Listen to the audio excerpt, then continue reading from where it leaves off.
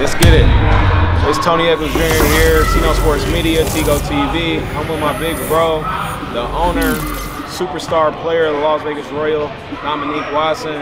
Appreciate you getting on with us, bros. So before we get into the games that's been occurring, we pulled up some old footage from my man Sino, and he didn't know you had to. I had to show him you had to bounce like that. When we gonna see that in the season? I know you. I know you got the doc coming out, not done yet. Yeah, yeah, yeah. So. Uh, I was I was gonna pull it out this past weekend, man. Uh, I got hurt in practice Friday, messed up my back, so you know it's kind of kind of iffy if I wanted to do it or not. Yeah. But uh, our next home game, I got it, man. I'm gonna get a crowd a little show. We got it here. He he got to put on a show. I know he's a yeah. man of his word. Um, yeah, next home. I know game. this past weekend, so you guys had the Pharaohs. Mm. I know that was a big game for you. You know what I'm saying? Yeah. We talk all the time, and I know that. You know, one thing I think you pride yourself on with your team, you had the longest run at any ABA team here in the city, and you want that crown. And you felt like, you know, another team was coming for it, and you showed out. You had yeah, 29 points in that game, lead score. You know, your team got the victory. How important was that game for you personally, outside of ownership, outside of you know anything else? You know, personally, you know, out of out of team aspect, how big was that win for you personally on Sunday? Man, that game was it was important. It, it wasn't it wasn't a personal game like for, for for it to be personal between us and the other guys. It was just it was just to show them that the vets is who to beat. You know what I mean? Uh, a lot of them guys played on our team last season, and uh, you know they switched over on us, and you know they felt leaving the team is gonna, you know, help them, you know, beat the team yeah. that's been here. You know what I'm saying? So we just basically have to show them that you know the vets are still here, and we want it more than you know anybody else, you know, including any team in Vegas. We want it more than anybody. Mm-hmm. So a couple of those guys, Mac, Mac Main, my man John, they was on the team last year. Um, you think that's adding to the rivalry between you two teams? The fact that you guys got former players on that team, the fact that you know there was some trash talk on Facebook. You know, I saw a post where they were like, "Oh, we the best team in Vegas," and then you know guys coming back like, "How y'all the best team? Y'all ain't done." So talk more about that you know, on social media and how that kind of sparked more energy to the game. And then, like, the fact that guys are playing on the other team, has that added to a rivalry? Is there a rivalry to you? What do you say about oh, that? Um, honestly, it's not a rivalry anymore. Uh, you know, like, uh, nobody know, but, you know, a lot of them guys, they quit last game. So, you know, it's honestly, um, you know, this this is no cockiness for you know for me or you know my team, but there's there's they have no shot next time we play. They have no shot. You know, I'm saying it in the cameras. They have no shot. I'm gonna be real. It's no you shot. Know, so, they uh, saying so. Pete this in the streets. They saying, you know, I mean, they got if Jared plays, if you don't get hurt, they said they would have beat y'all. Nah, Jared. For one, one one person can't beat a team of 12. You know, you play basketball. You know, you know, Cino play basketball. We all play basketball. One person can't beat a team of 12. At one point he was gonna shoot them out.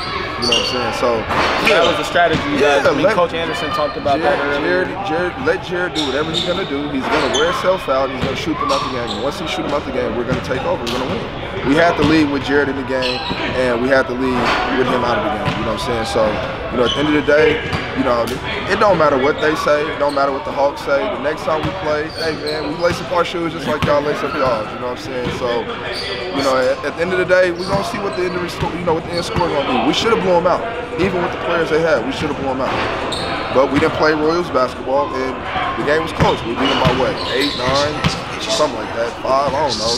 But we still won. We still three and zero. Oh and we ranked 14 in the nation. I wanted to get to that. So um, I'm not sure what the highest ranking you guys have ever had has been, but I mean, you guys are number 14 right now. You guys are 3 0 think you guys are the. I mean, obviously you're the best team in Vegas record-wise, and I mean you've proved it. You've beaten both teams in Vegas. Um, how does that feel for you as an owner? I mean, this is something that I've gradually seen you build throughout the years, and now you're at a different place than you were three years ago, which is commendable. So, how does that make you feel on the ownership side to see your team where it is right now? Man, honestly, um, to see to see the growth of the team, uh, it's, it's been amazing. You know. Uh, from all the teams in Vegas that we had in Vegas, no team has ever been ranked. No team has ever been three and zero. You know, to start off the season. So you know, when I decided to take over, you remember playing against us with the Jokers. You know, we wasn't we wasn't as talented as we are now. You know what I'm saying? So just building the team with me taking over and building the team with the athletes that I know we have right now. You know, we got a couple guys that's been with me for the last three seasons. You know what I'm saying? And they know how it is from coming from the bottom to where we at now. And honestly, the rankings, the rankings doesn't mean nothing until we win the championship. You know what I'm saying? The rankings is just a ranking showing that we're the top team in our city, but we're also a top team in the league. But the rankings don't mean nothing until we win a championship. No team in Vegas, like I said, has ever won a championship or has ever been ranked or had a winning record. We do, what I'm saying? So honestly, it feels it feels amazing, man. Like it's it's a blessing to have the, the group of guys that we got, and like I'm, I'm actually I'm, I'm thrilled to see where we go from the rest of the season. That's what's up. That's what's up. November 30th is the rematch. Yeah. You said they stand no chance. No chance. That's the that's that's they that's what they think.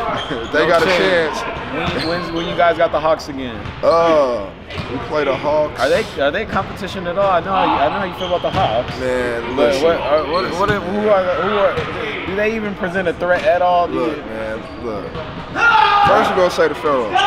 November 30th, cool. I'm ready for that. You know, we ready for that. You know, this ain't this is never an I in team. You know what I'm saying? We're ready for that. Uh, the Pharaohs good competition. You know, from last game. Um, losing the players they, they lost. No, no chance. No chance. You hear it here. Um, the Hawks never been a competition to me. They had, you know, they had a good run, you know, uh, two seasons ago when they picked up, you know, the top players like Link Adams, you know, Pialis, Danette, you know, Darius uh, Stewart, you know, D. Stu, you know, they, Mike Elliott. You know, they had a good run with that group, but uh, yeah, that that'll never happen again. Never, Nothing, never. nothing. And like I said, it's not being cocky. It's just I got faith in my team, and I know how hard they want it. You know what I'm saying? Uh, I've been saying it all summer. This season is important to me. You know what I'm saying? We, we went to the Final Four last season, lost in a tough game, and honestly, we know we know what it feels like to, to get there and you know fall short. So what we don't want to do this season is fall short. ABA championship this year. Man, that's what that's the goal, man. That's the goal. That's the That's goal. the goal. That's what's up, man. It's Tony Eackles Jr., CiNo Sports Media, Tigo TV. Can I get a shout out to Domonic Cino Watson, Tigo TV? man. Shout out to Sino, man. That's my boy, man. Uh, CiNo Sports Media, man. Las Vegas Unknown, Las Vegas Royals, we in the building. Yes, sir. Yes, sir. Appreciate you, big bro. Oh, yeah, no problem.